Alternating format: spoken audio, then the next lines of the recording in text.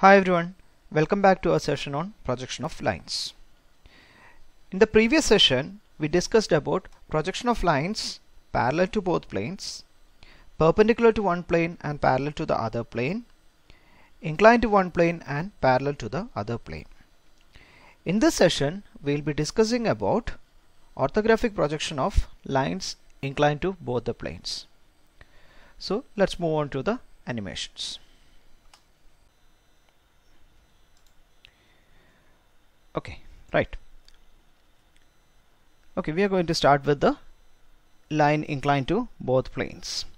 Now you can see there is a we have kept a quadrant here. We have this pink is the vertical plane and this white almost white off white is the horizontal plane. Okay now what I'm going to do is I'm going to place place a line which is inclined to both planes. So I'm just going to place a line inclined to both planes. In this 3d view you are not able to see the inclination with both HP and VP you can see just uh, it is almost inclined to HP but uh, when you look at the front view and top view when you look at the orthographic views you can see that it is inclined to both planes. So let us uh, see that first. Let's look at the front view. Okay. So see that? If you look at the front view it is inclined to HP as we all know that HP is this line when you look from the front. And then if you look at the top view it is inclined to VP also. Okay? This is the top view and the one that we saw before was the front view. Now let us uh, the, our next aim is to mark the distances. Okay? So first we will distance uh, mark the distance of each point that is the left end. Now let us call this line segment as AB and the left end is A and the right end is B.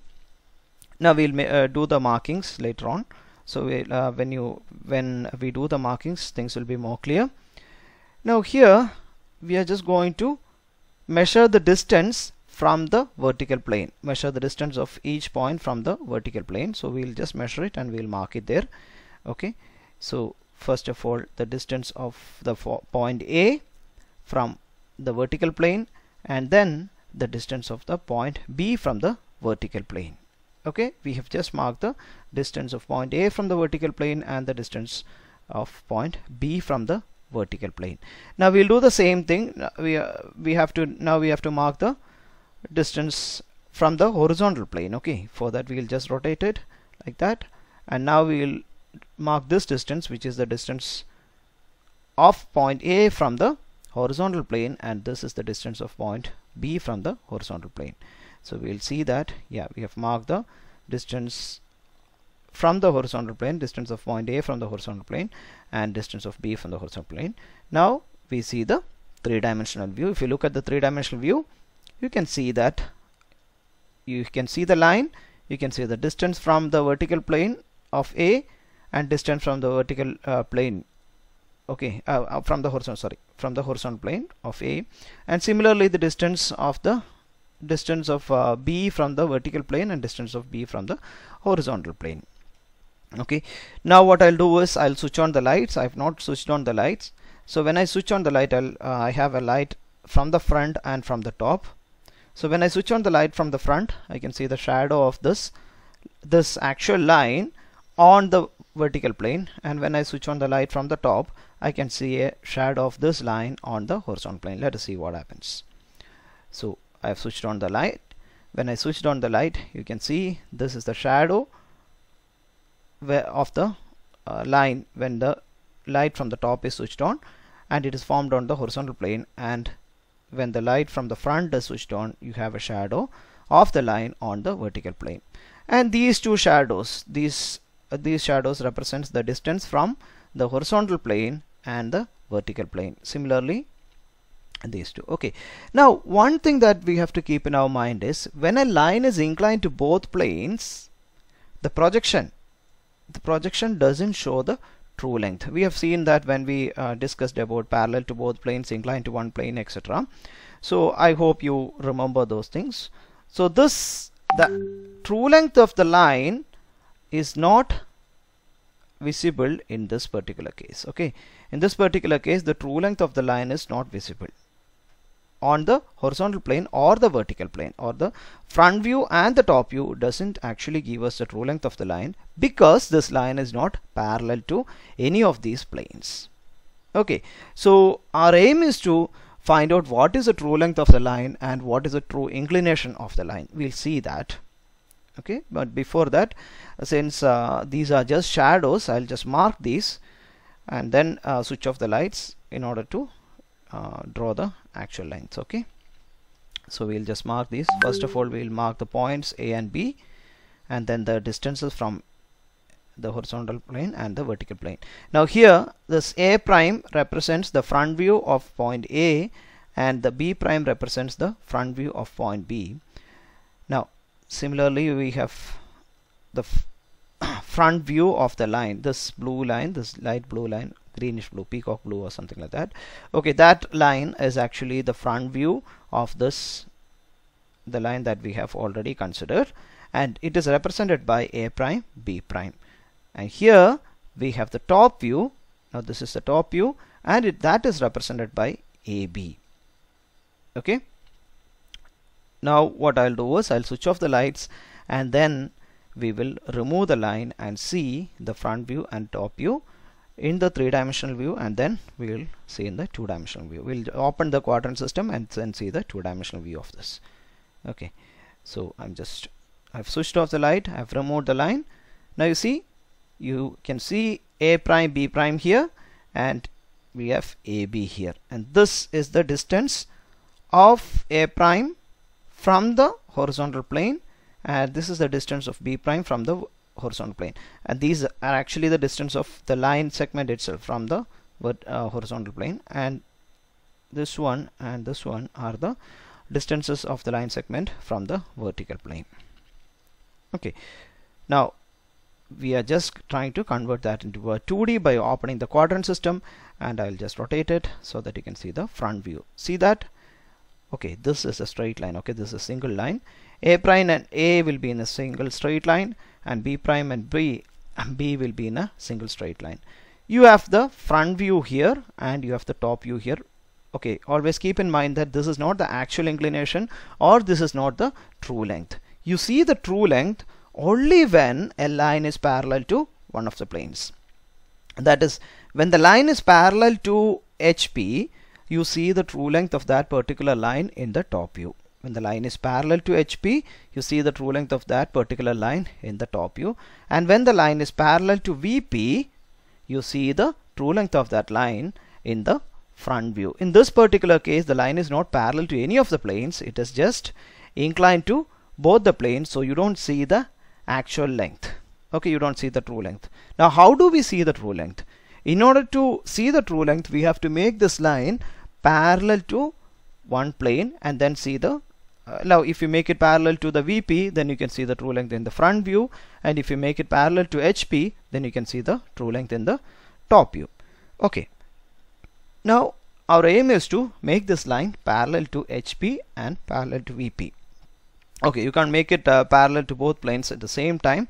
So first of all we'll make it parallel to one plane and then uh, we'll make it parallel to the other one. So what I'm going to do is I'm going to bring back the 3D uh, and then place the line back. And now I'll I'll rotate this okay?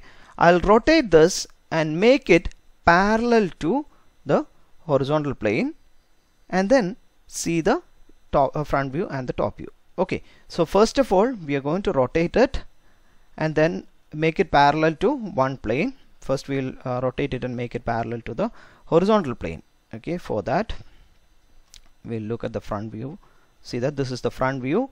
I've switched on the light. So this is a prime b prime that's the front view. I'm just going to rotate the front view. So when I rotate the front view and make it parallel as you know that when you, if you after making it parallel if you look from the top then you see the true length of the line. Okay we have uh, learned that before but still I'm just uh, reminding you. So we're just going to rotate that. I'll show you the see that the line is being rotated. I'll show you the top view and all the other different views while a line is being rotated. Then we'll uh, then you will understand how that is. So first we'll just see the front view first. Okay. Right. Now I have rotated this front view all the way down and have made it parallel to the horizontal plane. Now this is parallel to the horizontal plane. Okay now we will see that uh, the same thing same rotation we will see in all uh, what happens in all different views. That is from the front view from the, the top view from the side view and the three-dimensional view. Okay we'll move on to that. Right?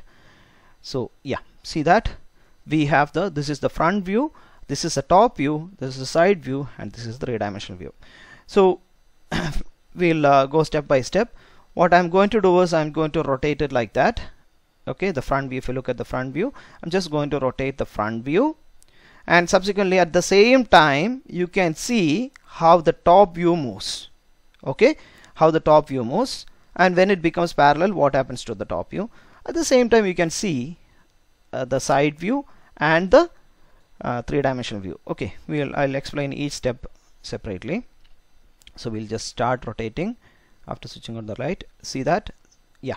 Now this has started rotating. It has rotated a bit. Now see that this line if you look at the top view when it rotated like that the top view actually moved from here to here.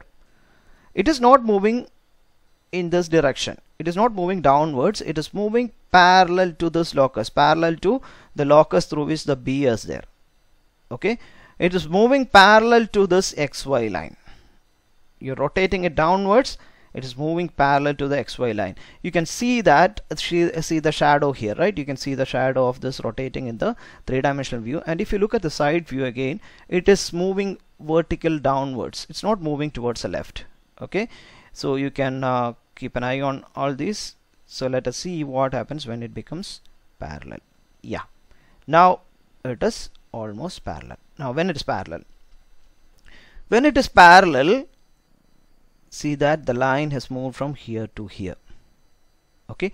Now this length I have made it parallel to HP when this is parallel to HP you see the true length in the top view. Now this is the true length. As you can see this line is longer than the actual top view that you saw before. Now this line is the actual true length. Okay? Here you can see it is parallel and here also you can see that it is parallel. Now it is parallel to this is the HP horizontal plane and it is parallel to the horizontal plane. In the three-dimensional view if you look at the three-dimensional view also you can see that you have a parallel line. That is when you look from the front you see the parallel line. And when you look from the top it is moved from here to here. That's what you see from here to here. Okay? So we'll move on to the two-dimensional view again. I've just marked b prime b2 prime etc b prime here b2 prime etc then we'll see the two-dimensional okay. Now this is the top view. Okay. Uh, we have the uh, top view. A b is the top view of the line segment when it was not parallel. Now a b2 is the top view when it is made parallel. Okay. Now this is just the top view and we'll see the whole thing together.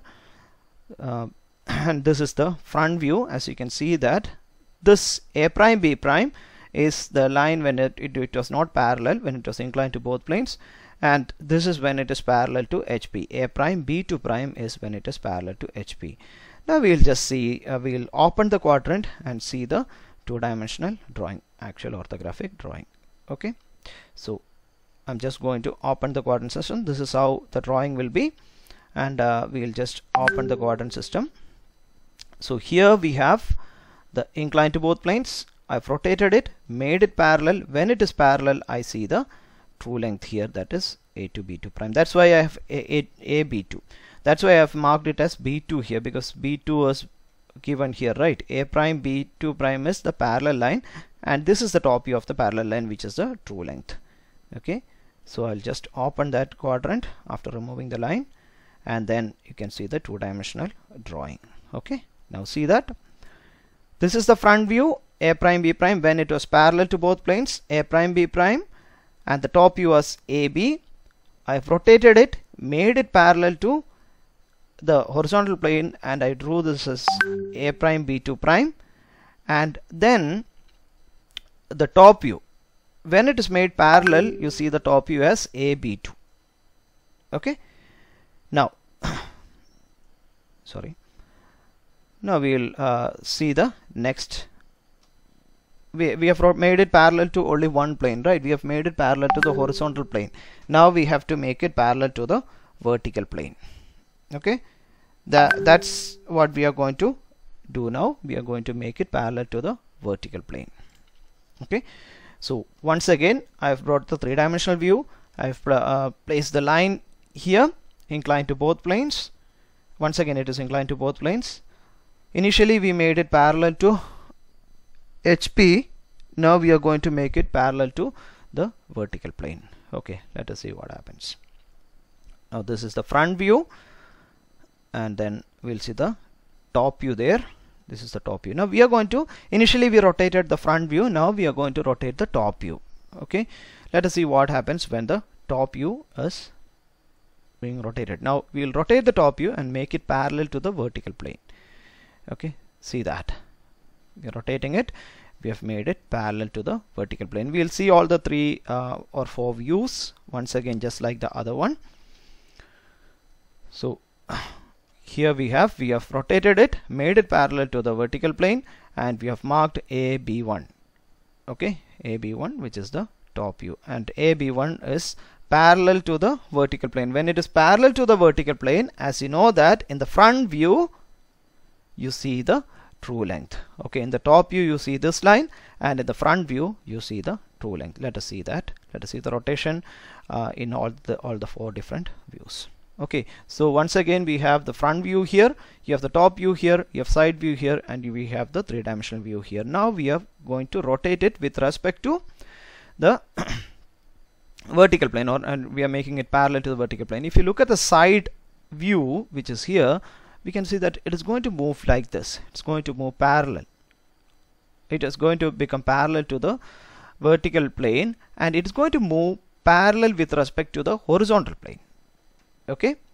So slowly we will just move switched on the light. We are just going to move that. Okay. You see that this is being rotated like that.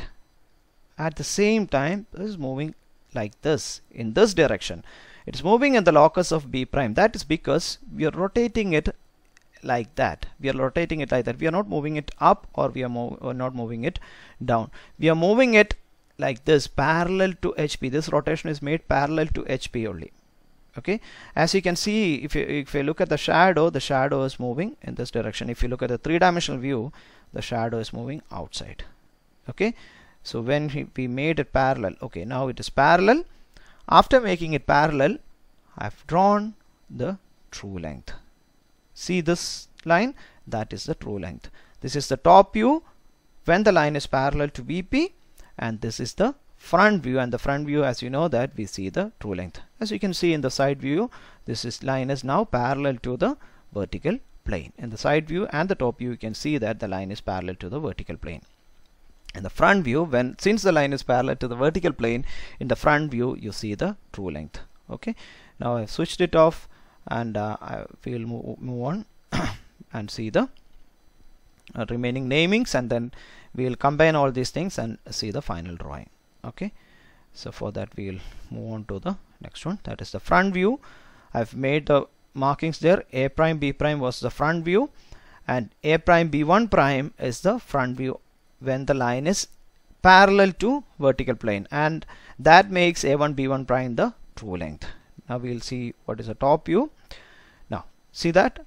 You have a prime b prime and a prime b1 prime here which is the true length.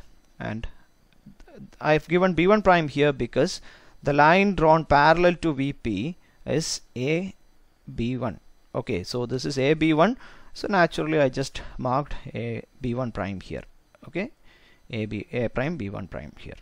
Okay now we'll open this quadrant and see how this is drawn as a two-dimensional drawing. Okay see that? We have the we have rotated it in the top view and made it parallel to the vertical plane. We've drawn the true length in the uh, front view. Okay we have rotated it made it parallel in the parallel to the vertical plane and then drawn the true length in the front view okay so for the final drawing what I'm going to do is I'm going to bring the previous rotation also. That is we have already made, uh, rotated this line and made it parallel to the horizontal plane and we have drawn the true length right in the top view. So we'll I'll club that with this. See that? Here we can see the rotation in both planes. That is the initial rotation that is from b prime to b2 prime I made it parallel to the horizontal plane and then I draw the top view which is the true length in the top view. Okay true length when the line is parallel to the horizontal plane. Now this one AB I rotated the top view and made it parallel to the vertical plane. And when this is parallel when the line is parallel to the vertical plane as you know we get the true length in the front view.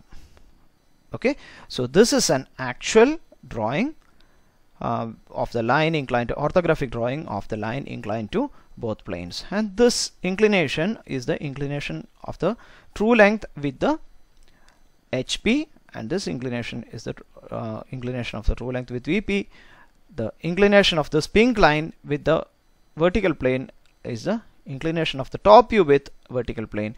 Inclination of this blue line with the xy line is the inclination of the front view with the horizontal plane.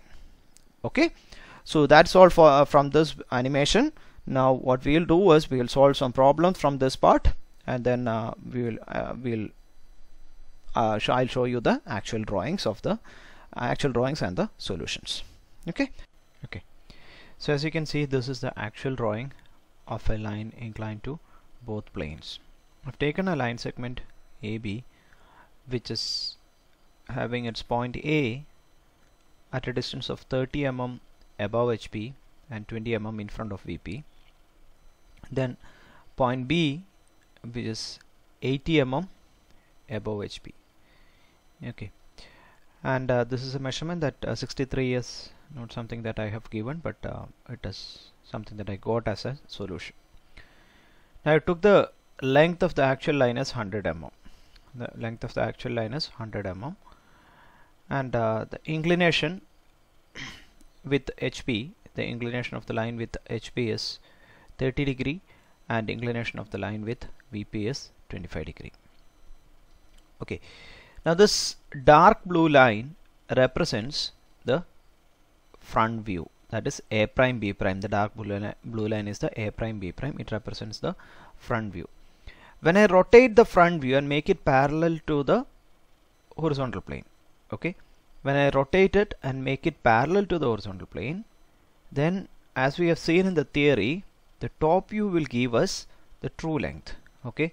So I've made rotated it made it parallel to the horizontal plane. As you can see this line a prime b2 prime is actually parallel to the xy line. Okay? Now the projection of that when I project it downwards when I extend this line downwards it meets at this point that is b2 initially uh, if you look at point B prime B prime is here and just below that you have B. Sorry this is B okay not B prime. This is B not B prime. Okay this is B prime and just below that you have B.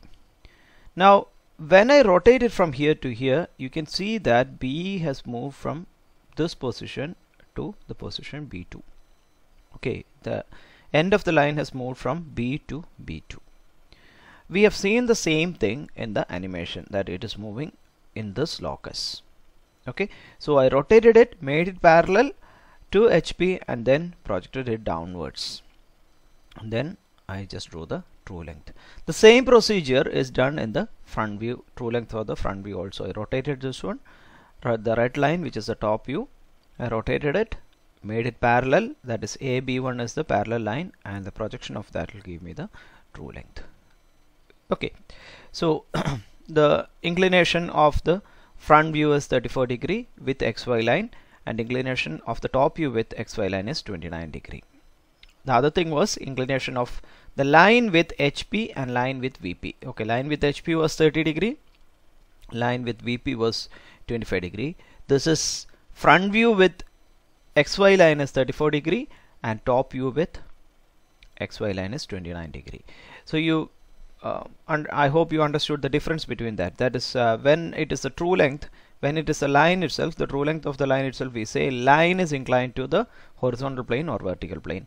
And when it is the views that is the front view or top view then you say front view or top view is inclined to so uh, to the xy line. Okay? So I think that is all uh, about the animation and uh, lines inclined to both planes. Now in the next uh, session we will actually do some problems numeric uh, some application problems and uh, things of that sort. Okay? Yeah. See you in the next session